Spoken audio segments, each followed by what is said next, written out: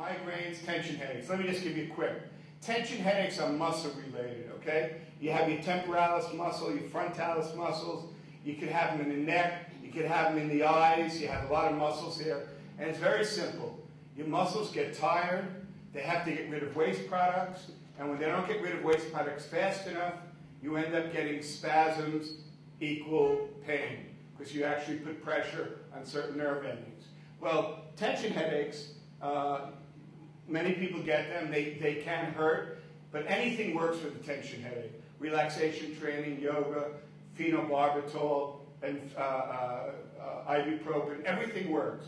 Closing your eyes, because as soon as you let your muscles uh, kind of relax, you get rid of the headache. Migraine headache is totally different. But I don't want you to think migraine headache is bad headache, because that's what happened in society. We talk about migraine headaches like the evil headache. Well, anyone that has it knows they can be evil. But most people that have them are not diagnosed. Most people that have them say, I have migraines. Well, how do you know? I don't know. I, my doctor told me. That's not good enough. They have to measure it, uh, do an EEG. There's a whole variety of things for it to be migraine. Migraine headache means blood is being trapped in your head and scalp. So here's what happens. I'm going to hit my hand on here, so don't get crazy, right?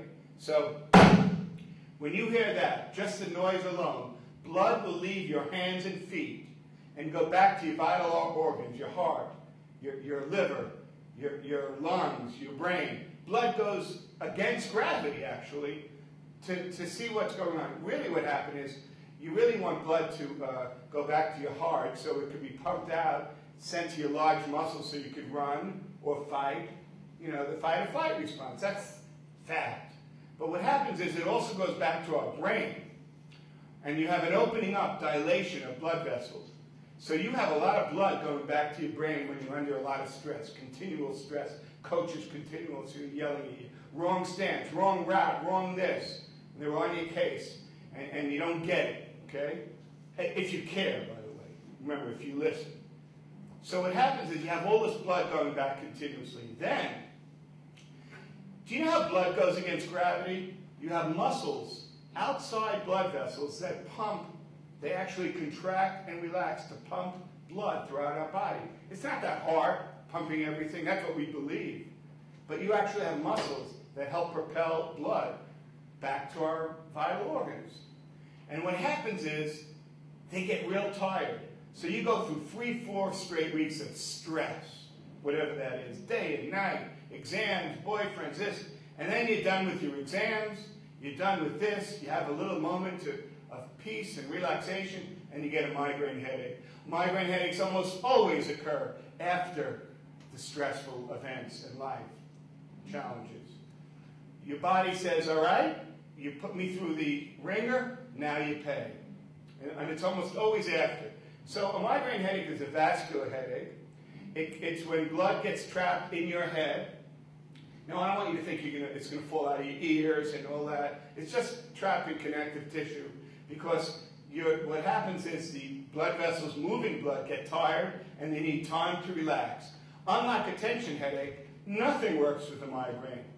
All they can do is provide you with some medication to thin your blood.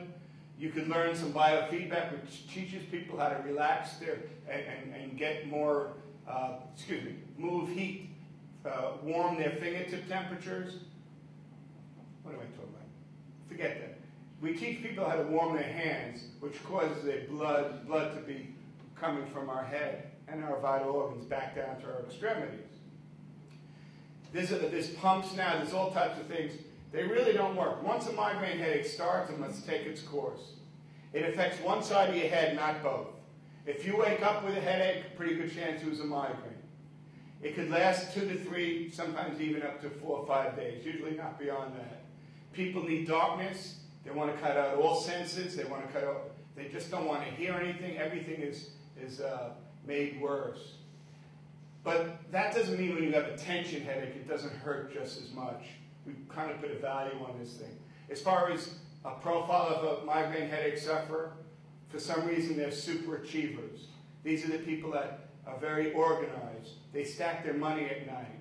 Chopin, Uh, a lot of musicians, it affects women three times as much as men. Five to seven million people a year, excuse me, are diagnosed with migraine headaches. Three to one ratio of women to men. Now we have kids three and four years of age with migraines. We never had them before because parents would never bring their kids to the doctor thinking that they could have migraine headaches. But they have stress too, and their bodies can get tired too.